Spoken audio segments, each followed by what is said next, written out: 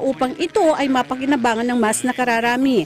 Sapat na umano ang anim na pong araw para maisagawa ang paglilinis at pagtatanggal ng mga nakakasagabal sa maayos na daloy ng trapiko. But uh, with the new development, uh, through the order of uh, the ILG, we might withdraw more uh, uh, streets uh, for uh, bending. Uh, lalo na yung sinasabi ng MMDA na mabuhay lane. Tapos yung uh, parking. So, dahan-dahan. Anyway, sabi naman nila 60 days. May awa ang Diyos. At saka sa tulong na rin.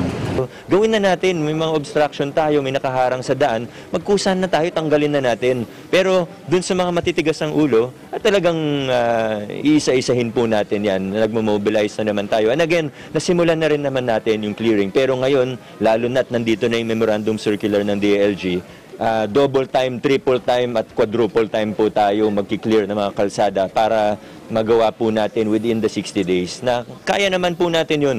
Mahirap pero kakayanin natin yung 60 days. So what I did was I, for, I formed a task force. It's called Task Force 60 Days kung saan ay dinivide ko na po ang, ang ating mga departments into two. Yung isa, ang trabaho niya lang ay traffic. Ang, yung isa namang um, pangkat ang trabaho niya ay public order or clearing no para maliwanag ang delegation ng trabaho.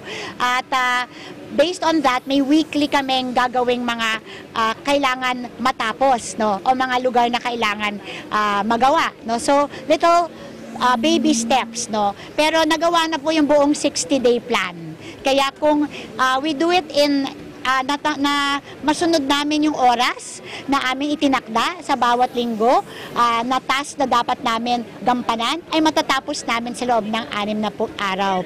Binigyan din naman ng MMDA at PNP NCRPO na handa sila para magbigay ng tulong sa mga clearing operations ng LGUs.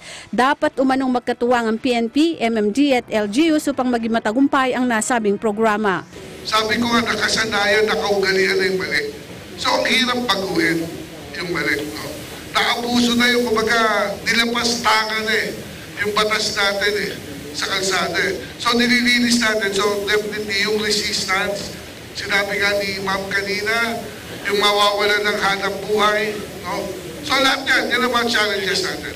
Pero I think kung nagkakaisa lahat, kaya natin yan. With the political will, andyan ang ating SLG, we will support all the way. Our LGU will provide the muscle for us once and for all na magtagumpay tayo sa ating ginagawa nito. Para sa Eagle News, Eden Santos, IM1 with 25. Samantala, binigyan ni Pangulong Duterte ng hanggang lunes ang Department of Labor and Employment o DOLE para makapagbigay ng rekomendasyon kaugnay sa Security of Tenure Bill. Ayon kay Labor Secretary Silvestre Bello III, pag-aaralan nila ang lahat ng probisyon ng panukala at saka ito ipipresenta sa Pangulo. Kasabay nito, binigyan diin ni Bello na hindi nangangahulugan ng pagtalikod sa kanyang pangakong wakasan. Ang endo ang pagvito ng Pangulo sa Security of Tenure Bill. Nais lang anya makatiyak ng Pangulo na maipapasang batas ay tunay na magiging kapakipakinabang at papabor sa mga manggagawa habang binibigyan naman ng konsiderasyon ang mga nasa business sector. Ito rin anya ang dahilan kaya nagpatawag ng LEDAC meeting si Pangulong Duterte para hindi na maulit ang pangyari sa nakaraan na nabito ng Pangulo ang isang panukala.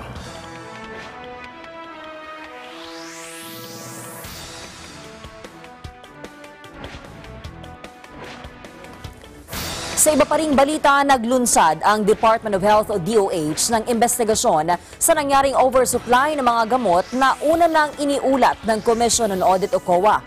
Ayon kay Health Secretary Francisco Duque III, batay sa 2018 audit report ng DOH, sinabi ng COA na mayroong overstock ng mga gamot ang ahensya na nagkakahalaga ng 18.4 billion pesos at ilan sa mga gamot ay malapit lang mag-expire.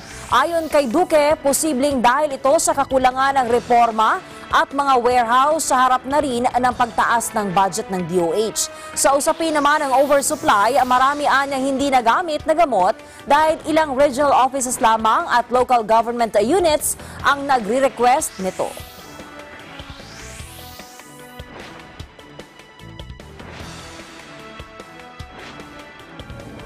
Abangan, iligal na mangingisda arestado sa Rojas, Palawan. At panukalang batas upang maging Mimaropa Regional Hospital ang Oriental Mindoro Provincial Hospital.